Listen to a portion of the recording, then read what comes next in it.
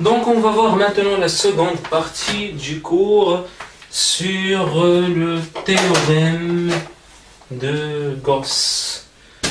Donc qu'est-ce qu'on a vu dans la partie qui précède? On a vu le flux à travers une, euh, le flux de E, champ électrostatique créé par une charge ponctuelle Q à travers ds. Donc l'expression phi est égale Q sur 4 pi epsilon 0 d oméga. Avec d oméga, c'est l'angle solide sur lequel on voit petit élément de surface depuis haut. C'est ce qu'on a vu. Si vous n'avez pas compris ce que je dis à l'instant, il faut voir la partie qui précède. C'est par 1, ce, ce cours-là par 1. Donc, euh, maintenant, on a dit le flux de E créé par une euh, charge ponctuelle à travers une surface fermée maintenant. Vous avez compris ce que c'est? Une surface fermée. Une surface fermée, comme j'ai dit, c'est une surface fermée. Comme son nom l'indique. Elle est fermée. Fermée. Elle n'est pas ouverte. Eh bien, je prends, un, je prends par exemple un, un papier. Hein, un papier comme ça. Je le ferme. Donc, j'ajoute là des, des, des, bases comme ça. je ferme là, je, je remplis ça. Ça, ça devient une surface fermée. Vous avez compris. Mais là, la surface latérale, par exemple, d'un cylindre comme ça, si je n'ajoute pas les bases, les disques, la base supérieure et la base inférieure, qui, si je n'ajoute pas, si je n'ajoute pas des disques, le disque inférieur et le disque, euh, le disque supérieur, c'est pas fermé, ça c'est ouvert.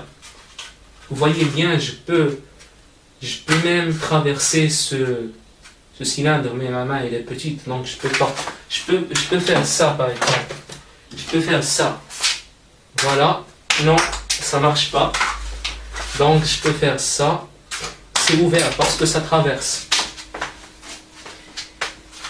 Euh, si par exemple je ferme juste euh, ce côté-là, eh bien ça peut quand même traverser. Euh, si je ferme le, le ce côté-là, ça peut quand même traverser. Mais si je ferme comme ça, avec mes deux mains comme ça, mais, mais, mais, mais, ce feutre-là ne peut pas traverser, comme vous voyez. Il ne peut pas traverser ma main. C'est bien s'il ne traverse pas ma main, c'est bien. Voilà. Donc j'espère que vous avez compris ce que c'est une surface fermée. En fait, si je ferme la porte d'une chambre, cette chambre devient fermée, une chambre fermée. Si c'est ouvert, c'est une chambre ouverte, c'est une surface ouverte. Donc ça entre parenthèses. Voilà donc, maintenant, le flux de E créé par une charge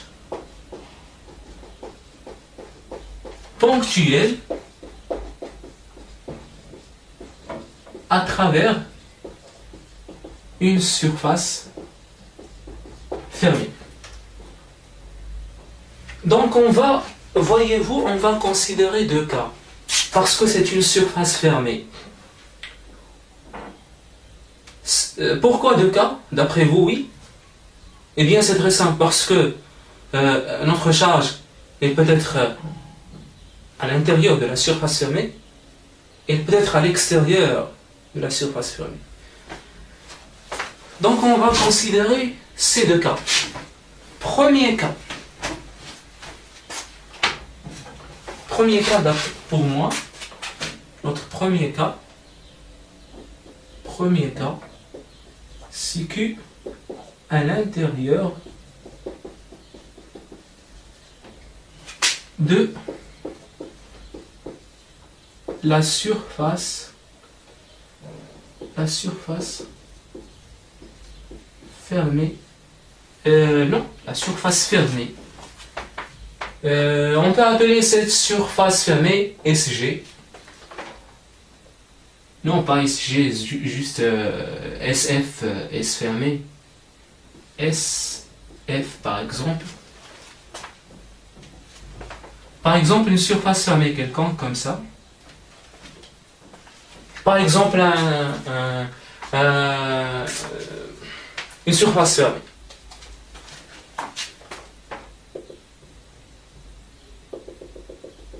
Pour bien comprendre les choses, pourquoi ne pas considérer un cube? Un cube, c'est une surface fermée. Un cube, hmm, comme ça. Donc, cube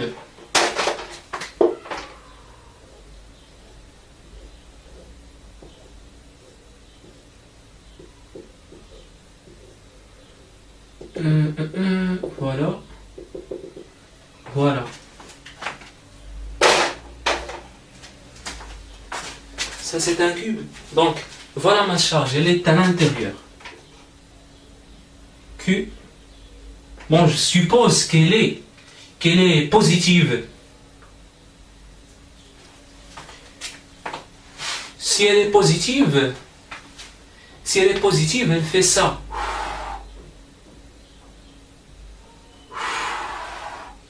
Ça, c'est le champ créé par Q. C'est... Il est comme ça. Parce qu'elle est positive.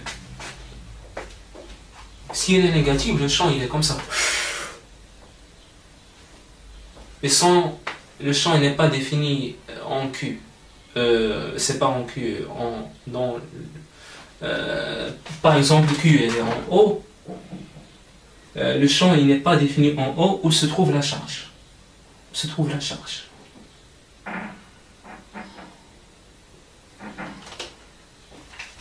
Vous avez compris ce que j'ai dit quand j'ai fait Bien, c'est très simple. Q, elle est positive. Le champ, il est comme ça. Il n'est pas défini en, euh, dans, en haut, par exemple, si Q, elle est en haut. Et quand je dis c'est-à-dire que Q est négative, donc le champ il est comme ça. Il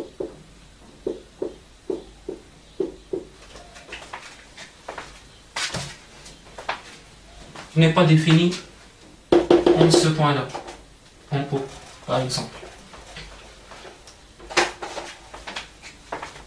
Donc, est-ce que E là, il va entrer, si je suppose que cette charge, elle est positive, est-ce que le champ va entrer ou il va sortir? Puisqu'elle est... Il va, quand je dis il va entrer ou il va sortir, est-ce qu'il va sortir de la surface ou il va entrer? Bien, il va sortir parce qu'elle est positive. Donc, par exemple, euh, je considère ce champ-là en ce point-là. Donc, E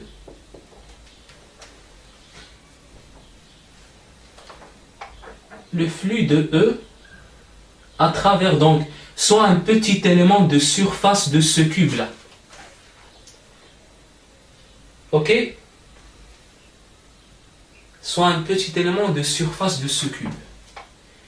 Je veux le flux de E à travers ce DS-là. On a vu l'expression dans la, partie qui précède.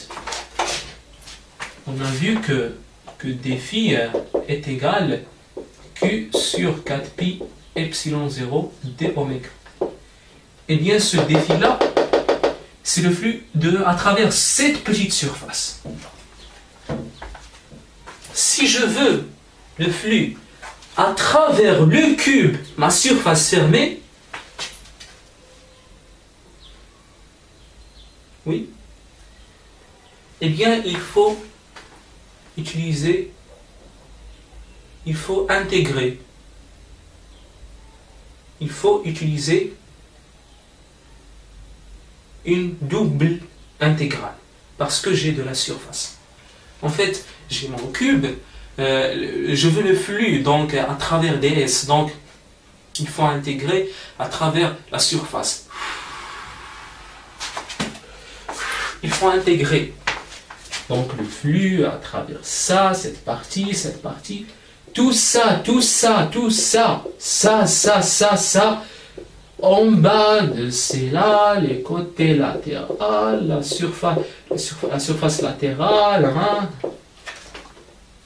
intégré. Donc, phi est égal, double intégrale, par exemple, surface fermée SF.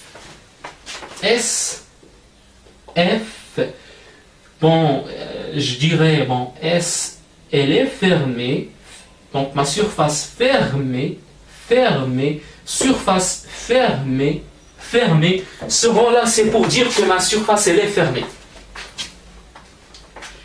Q sur 4 pi epsilon 0 d oméga. Q sur 4 pi epsilon 0, c'est une constante. Je peux la faire sortir. Est égal Q sur 4 pi epsilon 0, double intégrale à travers la surface fermée d oméga. Double intégrale d oméga, c'est oméga. Oméga, c'est quoi? C'est Q sur 4 pi epsilon 0 oméga de quoi? Oméga, c'est un angle solide. Oméga, espace. Avec oméga, espace, c'est l'angle solide sous lequel on voit l'espace depuis le point O. Imaginez que je suis une charge ponctuelle, je suis très petit, je suis à l'intérieur d'un cube. Pour moi, ce cube, il est, je sais pas moi, je ne, je ne sais même, moi-même, je sais même pas que je suis à l'intérieur d'un cube. Parce que je suis, je suis un point, je suis très petit. Donc je vois tout l'espace. Hein. Mais moi, je peux pas voir tout l'espace avec mes yeux.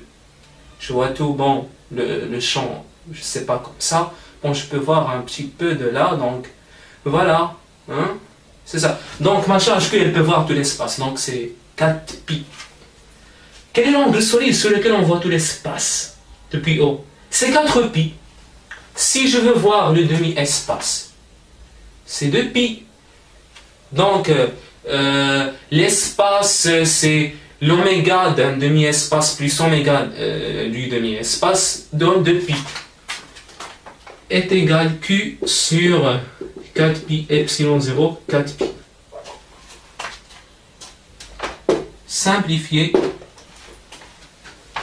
ça me donne Q sur epsilon 0 à la fin.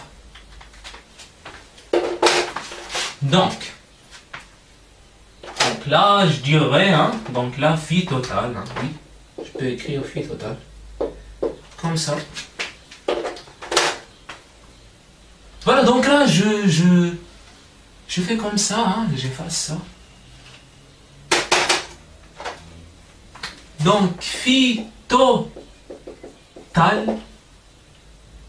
est égal Q sur epsilon 0 et je peux faire des points d'exclamation. Oh, c'est un résultat très très intéressant. C'est un résultat stupéfiant en fait. Eh oui. Il est très intéressant ce résultat. Pourquoi? Eh bien, vous allez comprendre pourquoi. Si Q était là, à l'intérieur même de la surface, est-ce que phi total va changer? Non. Si elle est là, à l'intérieur, à l'intérieur, donc, cette expression du flux ne dépend pas de la position de la charge Q à l'intérieur de la surface fermée.